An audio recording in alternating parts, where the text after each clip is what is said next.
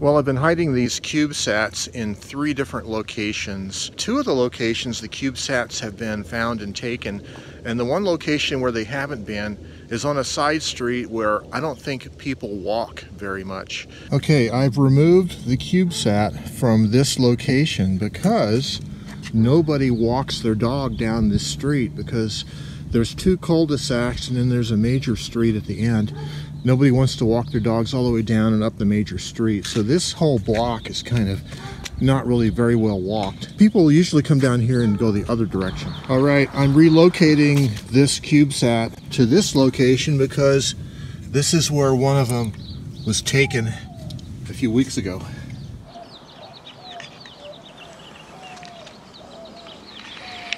It's empty. It got taken again.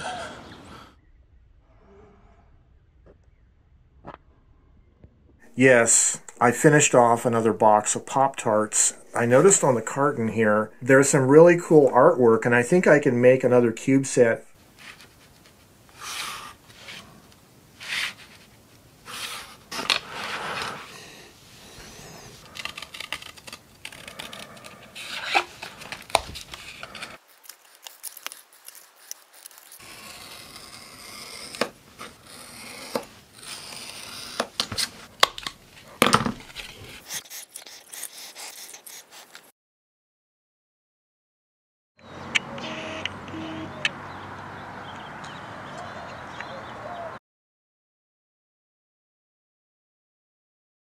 Yes, good morning everybody. We had a little snow the other day, but now it's nice and clear out. It's a beautiful morning. I'm walking down the side street toward the little free library, and there's a reason for this. You guys might remember about a month ago, I started this project called the CubeSat Project, but I hadn't heard back from anybody in terms of my email contact information or whatever. Until this morning, I got an email, hey, we found your little cube in the free library yesterday evening on our evening walk. So it might be fun to walk down there and take a look at the little free library.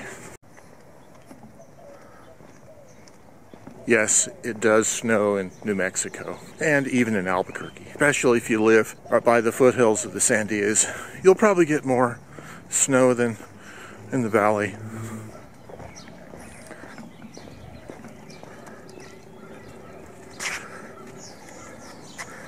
Yes, the little free library.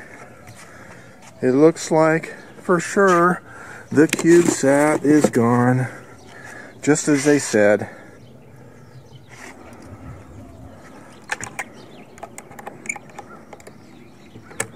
That represents some kind of success or closure, at least, to the CubeSat project. Not all of the CubeSats that I left had replies, but I got a reply from one person, and I think that's pretty cool. So I'm going to email that person back with a link to all the videos in this series.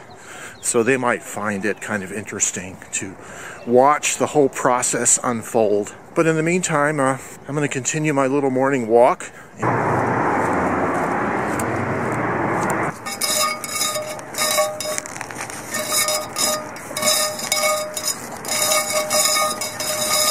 So I've been trying to get out on a walk every morning, you know, mainly for my health. There's been two, at least two projects that have arisen out of walking. One of those was the shadows. Kind of a long process of noticing the tree shadows being cast across the streets and onto the walls of houses, barren tree branches in the winter sun angle. I took a lot of still photos over the course of weeks for that project because I was taking a camera out every day. Oh, by the way, we have a yard full of cars, old cars. It's uh, obviously some guy lives there. And then the other project, of course, was this CubeSat project, which also involved walking around the neighborhood, locating places, little cubby holes that might be fun to hide a CubeSat in. So this is just two examples of some of the things that can happen when you kind of free up your mind and your schedule a little bit.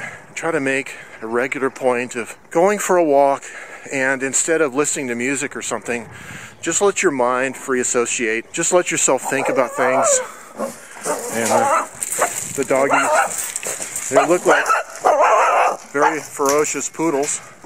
Good thing there was a fence there.